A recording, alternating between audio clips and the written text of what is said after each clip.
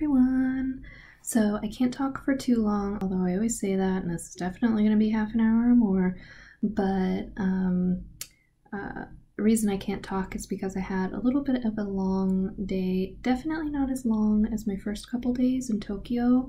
Um, I think uh, because I had so much to do, they packed a whole lot in the first couple days, um, just because most of it was in Tokyo. Kyoto's been a little bit lighter, which is really lovely. I also think they did that on purpose so that I can explore Kyoto because Kyoto is a lot more explorable than Tokyo. Uh, Tokyo has better, not better, it has more subway lines that intersect and connect. But um, Kyoto is a little bit smaller and less crowded. So, just a little bit about my day. Today was a great day. I was not most excited. I was really excited to go to Tokyo University uh, for reasons having to do with my project, but I was really, really excited to come to Kyoto University because there are active student groups at Kyoto right now. I didn't think I would get to meet them um, because my uh, research is being framed in terms of how libraries support social justice and activism in our work, either through our collections or through information literacy, et cetera, et cetera. Um, but because of the way libraries work here, things tend to be a little bit different, understandably. So the meeting went really well. Uh, I think Kyoto by far has probably um, the best and most comprehensive general collection on human rights. They have a whole section just dedicated to human rights research uh, which is a little bit surprising given the other universities I visited and what I found, and just how um, libraries are set up here, and that the ones I'm visiting are the, the general collection libraries, when in reality, libraries at universities aren't just one centralized system. In fact, they're um, separate systems. So every department, uh, like I was talking about before, has a tiny library in it um, that isn't necessarily run by librarians and that has very specific material to them. So, and other smaller libraries at universities, uh, there have been specifically social justice collections or collections about um, topics related to that. But Kyoto was the first one that actually had like it in the general collection, and it was really like um, blatantly marked. And yeah, it was super cool. The librarians were really cool. My interpreter today was so awesome. I had so much fun with him. We went around exploring and, and, and, and, oh my gosh, he's so great. So, my woes about yesterday when I was walking so much, my legs were hurting and I got stuck and oh, oh um, uh, were assuaged a little bit today because I told him I love riding a bike and he got really excited. He's like, You like riding bikes? And he says, Let's go get a bike. And I was like, What? so, again, I could have Googled this, I could have figured it out, but I didn't because I get way too nervous and then it's hard for me to function. Anxiety is so difficult to deal with, even though, and this is me having it under control, so just imagine it not under control. Oh, um, so he was like, let's go get a bike, and we did. He even paid for my bike, which is so sweet. It was $10 and you get it for the whole day. It's this sweet, like one speed bike, and you get a little basket so you can put all the stuff you buy. And he says, Yeah, it's so easy. You can ride all the way around Kyoto in like an hour or two. Um, and so it was so nice. So I didn't have to worry about the subway or buses. Ugh, buses here. Buses anywhere. I'm just uh, for some reason, subways I can understand. I think it's because they're on a track, and so I know that they'll never go off that track, or at least they aren't supposed to. Uh, but buses just they scare me. I I don't know. I'm just always worried that they're gonna be like, we're going this way instead, or something. Anyway, again, all all my stuff. Buses scary. So we just rode our bikes to Kyoto University, and he took me along the Kamogawa River, which is what I tried to walk along last night when it was dark, but the walk was long, and I was lonely. Oh my gosh, the the bike path along Kamogawa is so so beautiful. He was like basically giving me a tour. He was like telling me about all the birds. And we stopped and looked at the fish. And he told me about the giant salamander that are in the Kamogawa. They're like big. They're like feet, like feet big, multiple feet. The salamanders are so big here. When I was like, oh, cute salamander, like a little salamander. No, no, they are like salamander, like the Godzillas of salamanders. They're so big. Anyway, so we got to see the fish and all the wildlife. And then, like, there's a like a shrine and a temple on every corner here, and you'll just be like riding riding along in like a, a city area, and then all of a sudden a temple, and then another temple, and another temple, and there were so many. And he took me to some of his favorite ones. He showed me his university, which is right next to a giant Buddhist temple that he just gets to see every day, just on his ride by, and he loves it. It was beautiful. I took a picture of a bunch of them. Mm, I was able to ride to some of the bigger temples. I still haven't gone to. Totally just based on the name the really famous one with like the Jillian uh, orange torii gates. It's really famous. Um, I'm gonna try to go to it tomorrow. There's no way I can walk up all those stairs. It does take about an hour or two to get all the way up top through all the torii gates. Um, no, I'll maybe do 10 stairs max. My legs are, yeah, not, not cut out for that. Um, so I'm just gonna rent another bike tomorrow. Oh, it was so it was so easy to do. Um, they spoke fairly good English because, of course, people are gonna be renting bikes. I tried to go to Gion, the geisha district today, and I went a little bit, but it was so crowded. Um, and there there are really strong restrictions on bikes there, so you can't ride them or park them in certain areas. Ugh. So I was like pedaling along, um, and then I, I just got really anxious. There were just so many people. I didn't understand the map and where to park the bike. The maps are they're pretty they're pretty confusing uh, here. Yeah.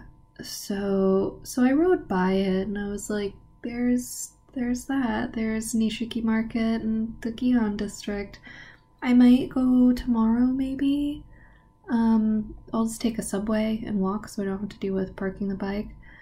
Um, or I won't. It, you know, it just depends. I'll either rent a bike or I'll take the subway, but oh man, I love biking around Kyoto. It was so nice to like have the nice breeze and along the river and on those like beautiful, beautiful streets. Man, it was so great so great. Even when I was stressed out near Gion and I didn't know where to go, I was on a bike, so there were no problems at all. And then when I was done, when I got too anxious, I was like, I'm just gonna ride my bike back. I don't have to worry about walking. I don't have to worry about getting on the correct platform. I don't have to worry about anything. Just ride right home. And I did. And it was lovely. So lovely. Mm. So, that was like generally my day. But my interpreter, who is amazing, he did not have to do this. He spent so much extra time with me today. And ro- we rode bikes around together. How how precious and pure is that? We rode bikes together in Kyoto. I'm so happy. Um, so he took me to Yoshida Dormitory, which is really, really famous at Kyoto University. It is a very old house extremely old. Um, and it is not common in Japan for students to live in dormitories on campuses. It's extremely rare. Uh, one, because space issues. Two, there's a lot of students. And three, it's just so much easier to live at home, like uh, costs and everything. Um, yeah, so Yoshida is a very rare case of students actually living on campus, but it is a very, very old building. Um, uh, it's it's not like it is in the movies, but I suppose that might be like a common reference we can start from. So it has like the sliding doors and um, the the doors don't have the the paper on it. There's glass and everything, but they're like the really long houses, long hallways, multiple rooms, multiple floors. Oh, so beautiful. Uh, but for years, the university's been trying to shut it down, to close it and build a brand new building. Mm, because if you can imagine, uh, there isn't a whole lot of space to build and expand here, so new buildings are kind of um, sought after in some instances. Not all, there's a lot of protected buildings, but uh, so they've been trying to kick the students out of Yoshida Dorm. But the students have for quite a while been like very, very active and actively protesting the closing of the dorm in some, mm, I think, what Japanese society might consider like unsavory ways. So, uh, what they've been doing on a lot of Japanese campuses, uh, it's not really allowed. It's kind of prohibited for you to hand out flyers and uh, certain materials on certain topics.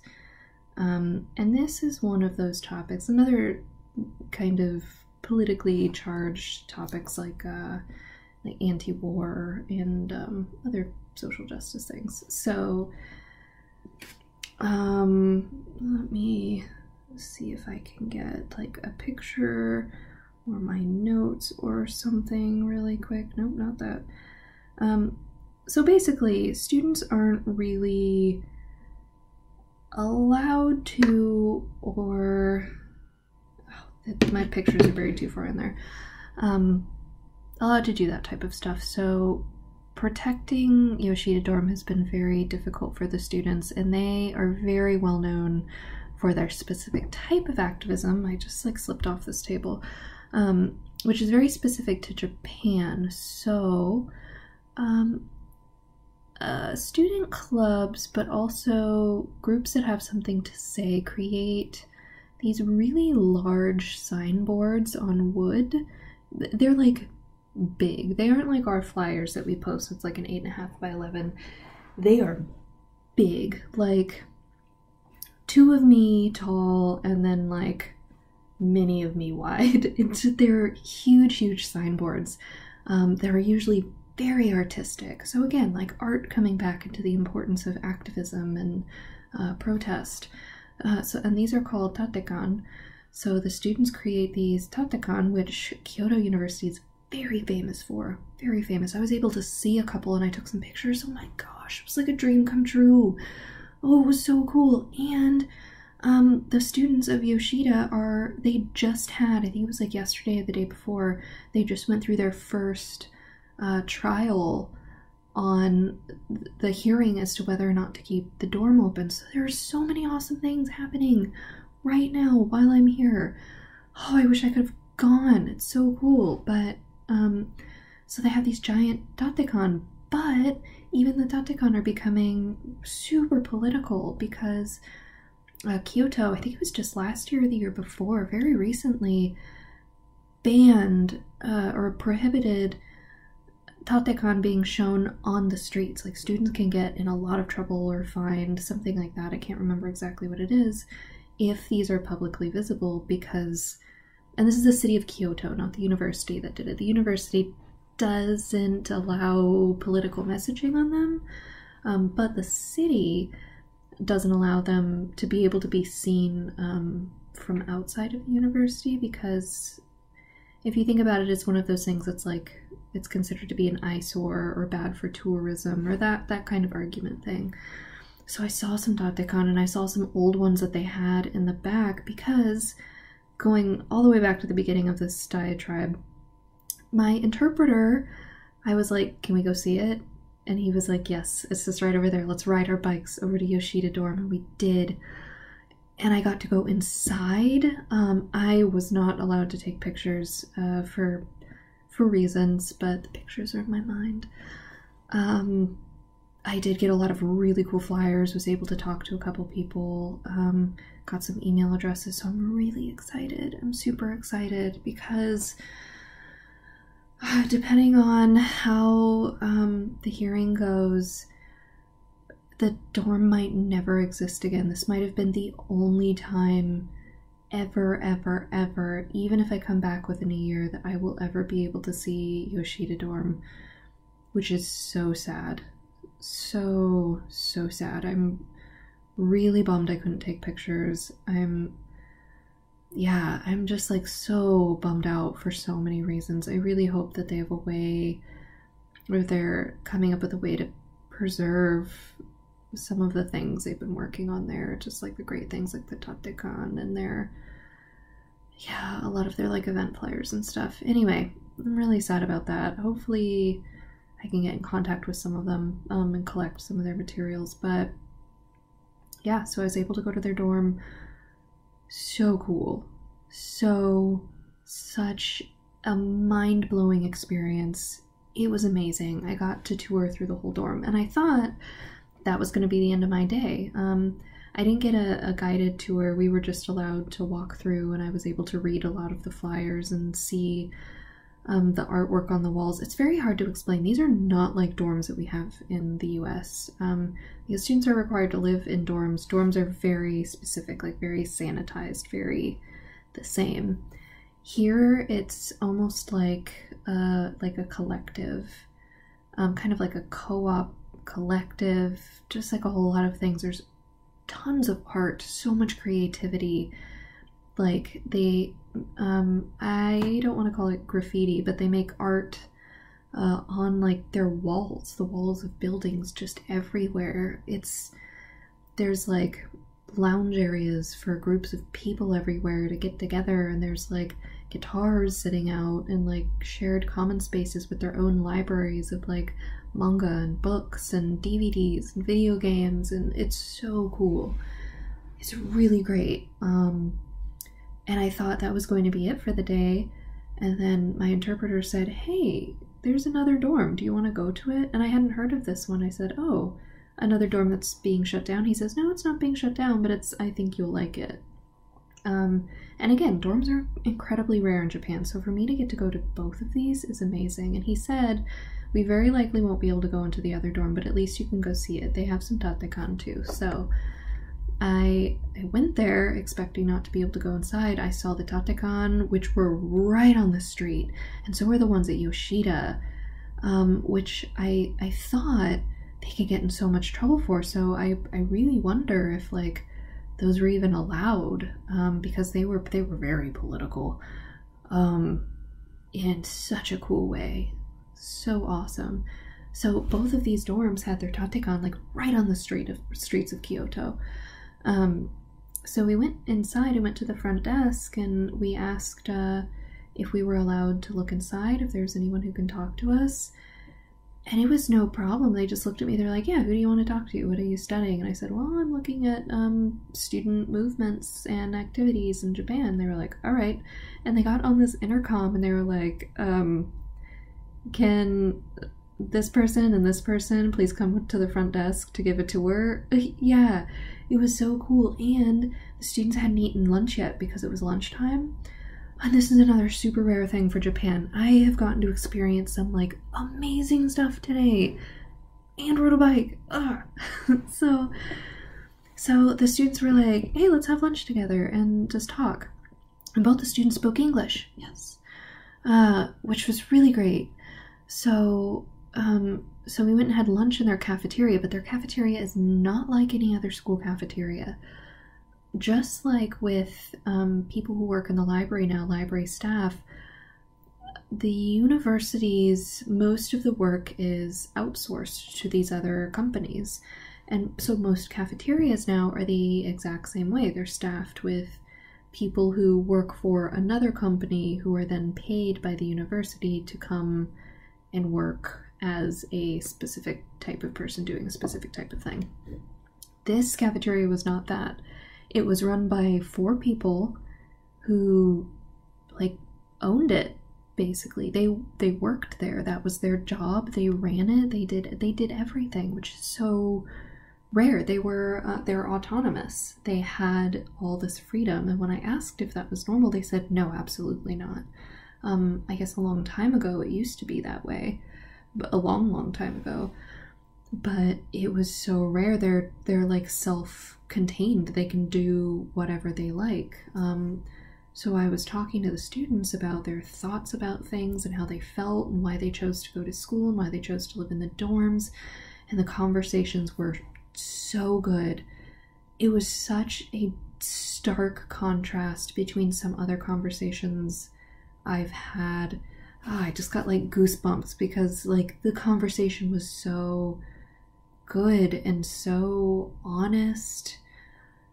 Yeah, so they were talking about their majors and and everything and then they're like, "Yeah, let's go on a tour." Like after we had lunch. I can't talk too much about um exactly what they told me because I want to make sure that their identities and privacy are protected. Uh, I'll talk a little bit about it, but so there were two of them, and then they took me on a tour. Uh, the tour was so cool. Again, God, this dorm is awesome. Like so much art. The entire stairway was like floor to ceiling, like beautiful, beautiful murals that people had done on the wall. And I said, Can anyone do this? They said, Yeah, it doesn't matter. You can put up anything you want to here. It was so beautiful. It was like a collective. They had their own spaces, their own everything. Nobody controlled it. It was them, it was the students, and only the students.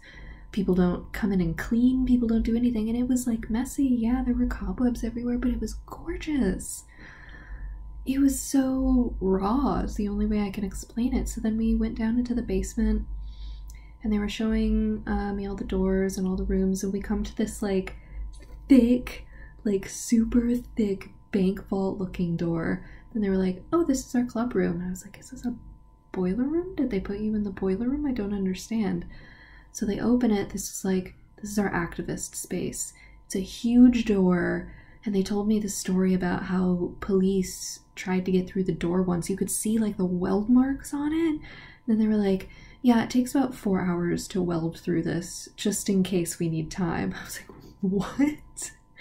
You're the real deal.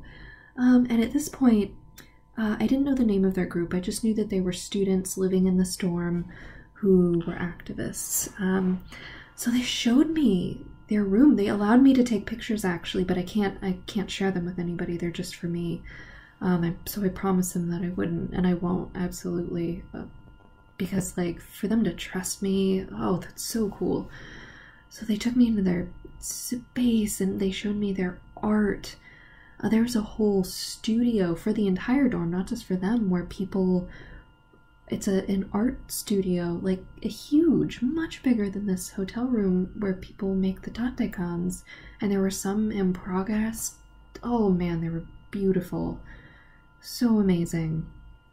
Um, and their room was amazing. Like, so much good literature and like art that they've done and protest signs and like protest helmets and man so many cool things. And they showed me a bunch of stuff took me on all over the building showed me all over a whole bunch of tours. And then in the end i was like oh what do you call your group? Does your group have a name? Uh, and they just look at me they're like oh we're we're zengakuren and like i can't even explain how i feel right now Zengakuren is so, so well known. Such a well known activist group with such a long history dating all the way back to like the 50s, 60s, and 70s in Japan. And these students were it. They are the modern Zengakuren. I never thought in a million years that I would ever get to meet Zengakuren, and I did, and I didn't know it when they were showing me around and like when they were answering my questions and talking about what they cared about. There's Zengakuren. It was so cool. Oh my goodness. So I got to meet them and I got to see their space and they trusted me to talk to me. Oh, I'm so excited. I'm so, so excited. So today was fantastic absolutely fantastic. Even though I didn't get to go to Nishiki Street or Gion, that's fine. I got to meet the real deal. Something I never thought I would get to do when I came here. I got to do it. Oh my god, that is worth so much, so much, so much, so much for me to meet Zengakuren. Like, I I don't even have words. So cool. Yeah. So that was my day. And then after all that I rode my bike back and I am still like processing just how I mean it's immense to me. I feel like maybe other people won't care as much, but this is like the coolest the coolest thing. I met with Sealds and I met with Zengakuren. Like if I could only do two things while I was here in terms of my project, it would have been those two. Over above everything. Meet Sealds and meet Zengakuren and talk to them and understand how they feel and why they're doing what they do and what they think the environment is like. And I got to do that. Man. And they had a lot of good stuff to say, both Sealds and Zengakuren. Like, great, great, great, great stuff to say. Yeah. Anyway, what a good day. Such a good day. So, for the rest of my day, the reason I'm trying to make a really quick video is because uh, I am. I have to make a reservation for uh, the Shinkansen back to Tokyo tomorrow. I'm really sad to be leaving Kyoto. Ugh, goodbye, Kyoto. I'll come back. Um, so I have to make my reservation, and also of course, I'm figuring all this out just as I'm getting ready to leave. So, remember how I was so stressed about carrying around the freaking luggage? Well, I knew this this existed. Um, there's this luggage forwarding service, but I'm always so nervous to try new things and to figure it out that I just like do it the hard way, like walking everywhere when I could have biked, or forwarding my luggage, or carrying my luggage when I could have just forwarded it. Apparently, pretty much all hotels have this luggage forwarding service. You just go right down to the front desk, fill out the little form, and they send your luggage to your next hotel or destination for you. Yeah. Yep. So, I'm gonna go do that. I'm gonna go downstairs, fill out a form, drop off my luggage tomorrow, and then I don't have to worry about that crap. It'll just be at the hotel when I get there tomorrow. Uh, you can also do this for the airport, it turns out uh, at my next hotel, I could just be like, send this to the airport, please, and they'll just send it away. I never have to carry that freaking luggage again. So, because of that, I bought a ton of uh, very Kyoto specific souvenirs um, to bring back to you all today, but I can't show you them because when you're in Japan, you can actually buy stuff uh, tax free, duty free. So, I mean, because you don't live here, so you don't um, have to pay taxes, uh, and then you like pay a little bit when you go back anyway. But um, yeah, so you can get stuff duty free here, which I highly recommend. It makes things way cheaper, especially because the tax in Japan just went up to 10%. Um, and there's been a lot of protests about that too. Like, people are mad. Uh, people who normally wouldn't talk about politics or anything like that. Like people are talking about the tax increase, uh, which is really problematic, and it's being done for a lot of different reasons. Um, yeah, that's a whole other thing. Highly recommend looking up stuff on it uh, outside of just the news because the news is very like surface surface level uh, especially certain news outlets in Japan, like the it's not not incorrect news or anything like that. It just you know, sometimes omits things not maliciously. But yeah, anyway, that's all I'm to say about that. Uh yeah, so go to the duty free counter. It's great way cheaper and I'm bringing back tons of souvenirs for everyone. I got a bunch of stuff today. Very like special Kyoto uh, things, some matcha, some other stuff. Oh yeah, and the reason I can't show you them, but I can show you the bag. I just got it. Hold on, let me let me get it. Okay. Okay. So the reason I can't show you it is because when you buy things duty free, they put it in this bag and then it has this big old warning like, don't open it. don't open it. Um, so it's in this bag, which sucks a little bit. Now I need to figure out how to like pack this. Otherwise I would just like Tetris it in my bag, but mm, whatever, I don't have to carry it, so. Uh, and then I got, I don't even know what this is. What did I get? Oh, this is a present from my dad. This isn't, this isn't for you all, that's from my dad. Yeah. So anyway, so bring it back. Um, some really special presents. Yeah, excited. Things you can only get in Tokyo. Okay. Uh, 30 minutes. Yeah, I pretty much nailed that. Called it. Okay. So I'm gonna go, um, finish up getting souvenirs for the night, get my ticket, um, forward my freaking bag, a couple other things. And I'll talk to y'all later. I hope you're having a good night. Hope everything's going well. Hope your week started well. And I'll talk to you later. Alright. Bye, bye, bye, bye, bye, bye.